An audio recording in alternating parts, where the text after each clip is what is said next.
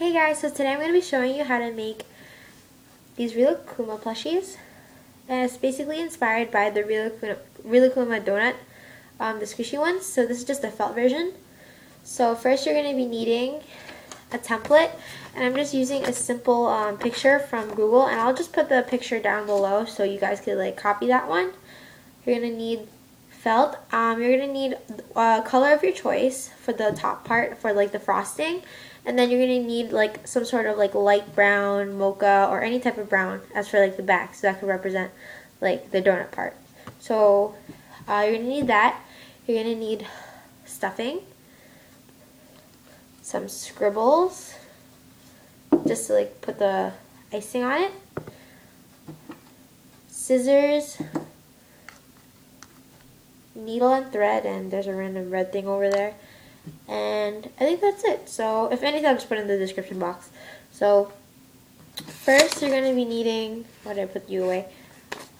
When you do this, you have to cut one of these out, cut one of your favorite color, and just cut it out, stencil it, and then cut it, and then make another one for the brown. So when you're finished, it should look like one of these. So to make the donut hole, which is like this brown one I already have, I don't know if you can see that. Yeah, like that. What you're going to do is you're going to make this thing symmetrical so you got you can cut it. So first you're going to cut it from ear to ear. And then this bottom to the circle part of that. So see? It should look like that. So what you're going to do is you're going to cut a little like a fourth circle over here. I'll show you how it is. I don't know if I can show you like that. Let's see.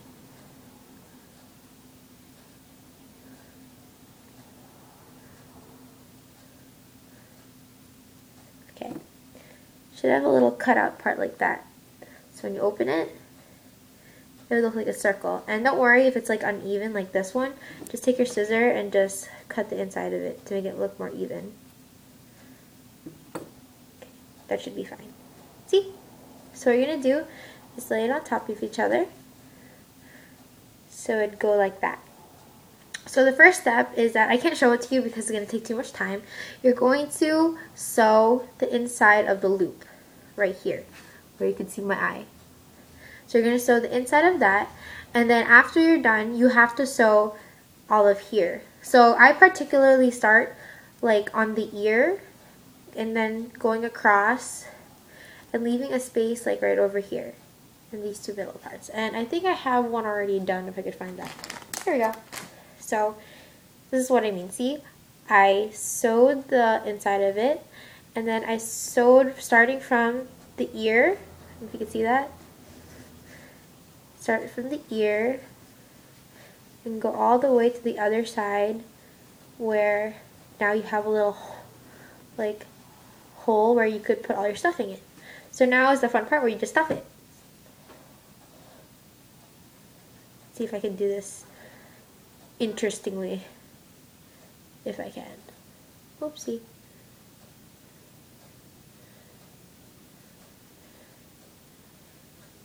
It's a lot of fluff. My friend says that there's so much fluff, fluff for that one little thing. I'm like, trust me, you need a lot.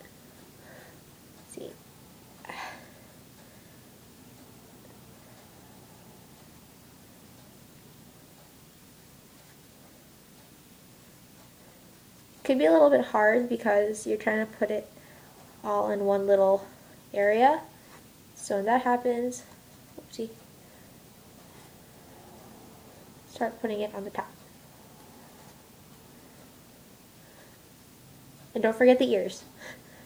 So basically, um, you could use any template to use for like any of these donuts. So I'm probably going to do a Mickey Mouse in the future so just do the same thing. Cut out like um, a Mickey Mouse head silhouette and then um, just cut it out. Make the same technique for the donut hole, but since Mickey Mouse's head is circular, you can make it into a circle rather than an oval because Rilakkuma's head is more mostly oval shaped. This is harder than I thought. Haha, silly me. So this is going to take a while. So if this is boring you guys, just fast forward. I wish I had my chopstick. I can't find where that is. Use the scissor, push it in there.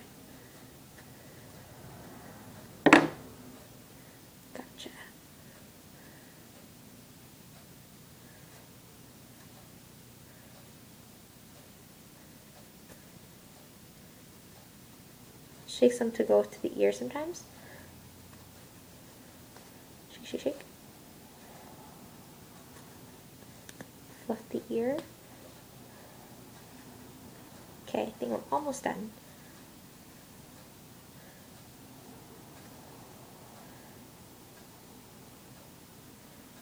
Okay, I think we're done. So now, now that you're finished, since I, I always have my uh, needle sewn on already, so I don't have to cut and stuff. So you see how there is a gap, you're going to compress these two together and start sewing in, inward outward motion. So see my needle? I'm just going to weave it in there. One,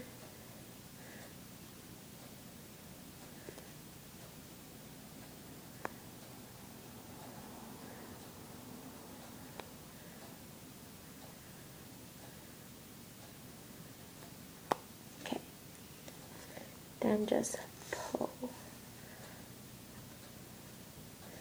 And then just do the same thing to close the Rilakkuma donut. Just knot it, loop, and oopsie, and knot. Just take your scissor and then just cut it. Now you have your Rilakkuma donut. See? And then just push it in proportion the way that you like it. Some of you guys might like your plushies more firm, some could be squishy.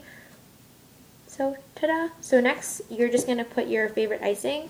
I'm going to be using these three. So this is um, Shiny Medium Blue, Neon Fluorescent Green, and this is Glittering Crystal. And this one turns translucent, which is really cool.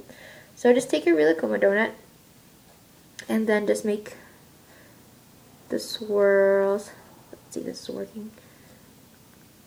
Er, that's weird. Whatever, I'll just use the blue one for now, and I'll just edit it later on.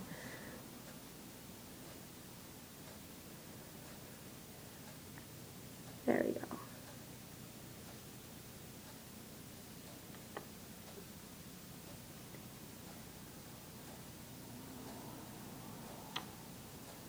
Then just fill in the gaps if you want. You can leave some like really, really, really gapped out like that. And just take your other color, got some blue paint on me, and do it to the opposite side. One, two,